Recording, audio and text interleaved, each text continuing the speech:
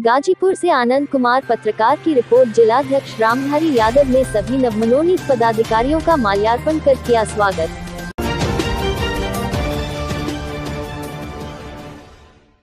Ghazipur Samajwadi party के कार्यकर्ताओं ने जिलाध्यक्ष रामधारी यादव के नेतृत्व में पार्टी कार्यालय समता भवन पर समाजवादी पिछड़ा वर्ग के नवमनोनीत प्रदेश सचिव रामयश यादव, समाजवादी मजदूर सभा के प्रदेश सचिव जमुना यादव, समाजवादी शिक्षक सभा के प्रदेश कार्यकारिणी के सदस्य वंशराज यादव तथा बाबा साहब अंबेडकर वाहिनी प्रकोष्ठ के राष्ट्रीय सचिव ददीची कुमार और रमेश यादव जिला कार्यकारिणी के जिला सचिव अरुण कुमार गुप्ता एवं राजेश गोल तथा समाजवादी शिक्षक सभा के जिला सचिव योगेंद्र प्रसाद तथा पारस यादव का माल्यार्पण कर भव्य स्वागत किया गया।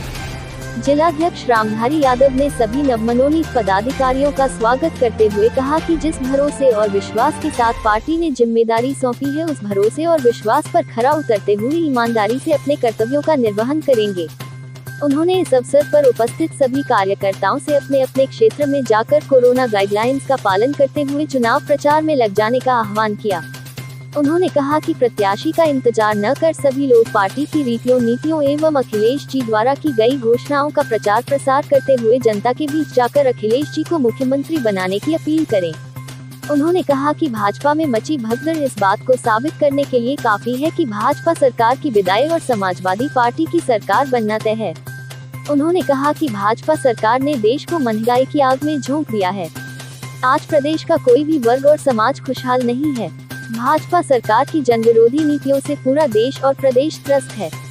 उन्होंने कहा कि योगी जी मुख्यमंत्री की भाषा नहीं बोल रहे हैं, बल्कि वह दहशतगर्दों की भाषा बोल रहे हैं। इस स्वागत समारोह में मुख्य रूप से पूर्व जिलाध्यक्ष सुदर्शन यादव, दिनेश यादव, गोपाल यादव, अशोक कुमार बिन चौथी यादव, चंद्रिका यादव राम वृक्ष यादव, भगवान यादव, आत्मा यादव, पवन यादव, सदानंद यादव, अवधेश यादव, अशोक कुमार पांडेय दिनेश यादव, शिवशंकर राम, रामलाल, प्रजापति मार्कंडेय यादव, सुशीला गोल शिवशंकर यादव, दयाशंकर कुशवाहा, रमेश यादव, निसार अहमद, जिला महासचिव, समाजवादी पार्टी, रामकेश यादव, सेक्टर प्रभारी रमेश व उपेंद्र कुशवाहा, ब्लॉक अध्यक्ष, सादात साहब यादव शंभू नेता रामकिशन सोनकर, जिला पंचायत सदस्य डॉक्टर संजय कनौजिया, बालू प्रत्याशी विधानसभा जखनिया तीन सौ तिहत्तर, रजनीकांत यादव, राजेश यादव, रामाशीष यादव, अभिनव सिंह सुखपाल यादव, संजय यादव लगन खां वंशी बहादुर कुशवाहा, हरवंश यादव, गोपाल श्रीवास्तव नन्ही बैजू यादव, कमलेश यादव रामनदीना यादव, सदानंद यादव, चंदन यादव, रामविलास राजभर, सर्वेश यादव, विजय यादव, रविकांत यादव, विकास यादव उर्फ़ मिंटू युवा नेता नितेश यादवादी उपस्थित थे। समारोह का संचालन जिला उपाध्यक्ष कन्हैया लाल विश्वकर्मा ने किया।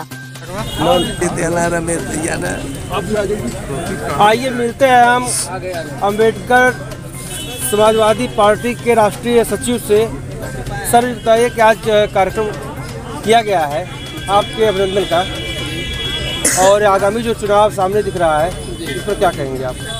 आगामी चुनाव जो सामने दिख रहा है भ्रष्टाचार महँगाई बेरोजगारी के खिलाफ हम लोग संघर्ष करके आगे सत्ता में वापसी करेंगे। और 2022 में माननीय राष्ट्रीय अध्यक्ष अखिलेश जी को मुख्यमंत्री बना के ही हम लोग दम देंगे। अच्छा ये सुहलदेव भारतीय समाज पार्टी और आप पार्टी दोनों लोग मिलकर चुनाव लड़ रहे हैं? जी हाँ। इस पर जखनिया क्षेत्र पर क्या कहेंगे आप? जखनिया क्षेत्र में जो भी कैंडिडेट आएगा उसका हम लोग तन मन धन से स्वागत करके उसको जिताएँगे। इसमें तो बहुत ज़्यादा दावेदार हैं। हमारा एक कैंडिडेट होगा चाहे सुहलदेव का हो चाहे समाजवादी का हो। एक कैंडिडेट एक निशान साइकिल निशान। मजदूर सभा के प्रदेश सचिव यमुना यादव जी बताइए कि सर ये चुनाव आपके सामने दिख रहा है 2022 का। इसका क्या लक्ष्य रखते हैं आप? 2022 वाला जो चुनाव है, इस पे आपका क्या लक्ष्य रहेगा? लक्ष्य ये रहेगा कि हम लोग 400 सीट के करीब पहुँचे और चुनाव को प्रचंड बहुमत से हम लोग जीतने जा रहे हैं। अब सीट का आंकड़ा हमें बढ़ाना है, बहुमत तो मिल गया, मिल जाएगा, लेकिन सीट का आंकड़ा हमें बहुत ज़्यादा बढ़ाना है और इस सरकार के कुरीतियों से नौजवान, छात्र, किसान, मजदूर, महिलाएँ, सारे लोग त्रस्त हैं। गाँव का किसान त्रस्त है, नौजवान त्रस्त है और महँगाई से सारे लोग परेशान हैं। इसलिए जनता ने मन बना लिया है इस सरकार को बदलने का। और आने वाला ये जो चुनाव है, ये निश्चित तौर पर भारतीय जनता पार्टी के ताबूत का आखिरी दिल साबित होगा, उसके पूरे राज, आने वाले राजनीतिक भविष्य के भी ताबूत का आखिरी दिल होगा ये चुनाव।